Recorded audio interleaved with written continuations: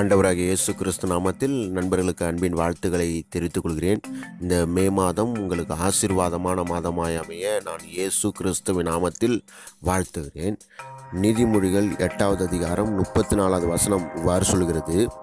என் வாசற்படியில் நித்தம் விழித்திருந்து என் கதவு நிலையருகே காத்திருந்து எனக்கு செவி கொடுக்கிற மனுஷன் பாக்கியவான்.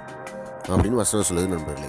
என் வாசற்படியில் நித்தம் விழித்திருந்து என் கதவு நிலை அருகே காத்திருந்து எனக்கு செவி கொடுக்கிற மனுஷன் பாக்கியவான் அப்படின்னு கத்த சொல்கிறாரு யார் நற்பேறு பெற முடியும் அப்படின்னு சொல்கிறாரு யார் பிளஸ்டு மேனா இருப்பான் அப்படின்னு கத்த சொல்கிறாரு அவருடைய வாசல் அருகே காத்திருந்து விழித்திருந்து கதவு நிலை அருகே அவர்கிட்ட ஒரு வார்த்தை எப்போ கிடைக்கும்?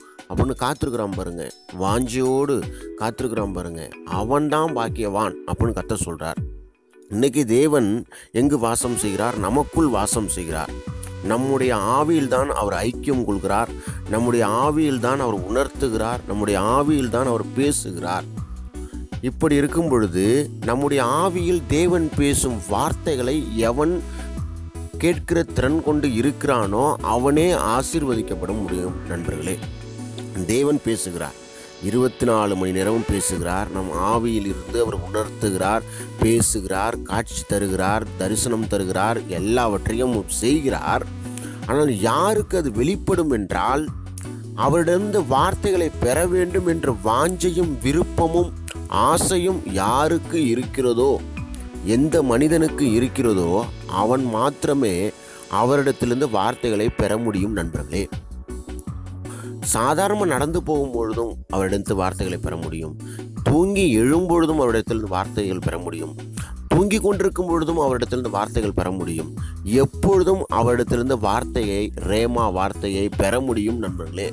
ஆனால் நம்முடைய ஆவியானது விழிப்புடன் இருக்க வேண்டும்.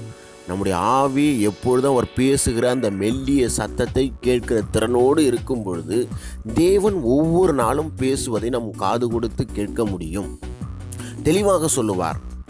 பேதுருக்கு அவர் மனிதனாய் தேவ மனிதனாய் பக்கத்தில் இருந்து சொன்னது போல வலையை ஆழத்தில் போடு என்றும் வளைய வலையை இடது பக்கத்தில் போ வலது பக்கத்தில் போடும் என்றும் சொன்னது போல நம்மிடமும் தேவன் சொல்லுவார் எந்த காரியங்களை எப்படி செய்ய வேண்டும் எதை செய் எதை செய் இதை செய்யாதே இப்படி செய் இதை எடு இதை எடுக்காதே இதை விற்றுவிடு இதை விற்காதே எல்லாவற்றையும் அவர் சொல்லுவார். ஆனால் தேவனின் காக காத்திருந்து அவருடைய வார்த்தைக்காய் காத்திருக்கிற மனுஷனிடம் மாத்திரம் அது வெளிப்படும் நண்பர்களே. அவ்வாறு தேவனிடத்தில் ஒவ்வொரு நாளும் நாளும் நாம் வார்த்தைகளை பெறும் பொழுது நாம் ஆசிர்வதிக்கப்பட்ட மனிதனாய் மாறுவோம் நண்பர்களே. ஏனென்றால் அவருடைய வார்த்தை விலையேற பெற்றது அவர் அந்த வார்த்தை எவ்வளோ எப்படியாப்பட்ட மனிதனும் நமக்கு கொடுக்குற அறிவுரையை காட்டிலும் மிகவும் விலையேற பெற்றது நண்பர்களே. அந்த வார்த்தை நமக்கு வரும்பொழுது அந்த நாள் சிறப்பாக அந்த மாதம் மகிழ்ச்சியாக இருக்கும் நண்பர்களே. ஆகையால் தேவனிடத்தில் ஒவ்வொரு நாளும் வார்த்தையை நாம் பெற வேண்டும். அவர் பேசுகிற அந்த ஸ்போக்கன் வேடை நமக்கு காது கொடுத்து செவிமடுத்து கேட்க வேண்டும். நம் இருதயத்தில் உணர்த்துவார். இதை செய் இதை செய்யாதே. எல்லாவற்றையும் சொல்லுவார். அப்படி காது கொடுத்து செவிமடுத்து நாம் கேட்கப்படும் பொழுது அதை கேட்டதுக்கு கீழ்ப்படியும் பொழுது நாம் ஆசீர்வதிக்கப்பட்டவர்களாய் சிறந்தவர்களாய் மிகவும் பெரியவர்களாய் மாறுவோம் நண்பர்களே. ஆகையால் இன்றிலிருந்து அவருடைய வாசலை நாம் விழித்திருந்து வார்த்தை வருமா வார்த்தை வருமா என்று அவர் கதவு நிலை அருகே காத்திருக்கிற மனிதர்களாய் நாம் மாற வேண்டும் நண்பர்களே. அவருடைய வாசலில் நித்தம் விழித்திருந்து இன்று வார்த்தை இப்பொழுது வார்த்தை வெளிப்படுமா? இந்த நிமிஷத்தில் வெளிப்படுமா? தேவனே பேசுங்க.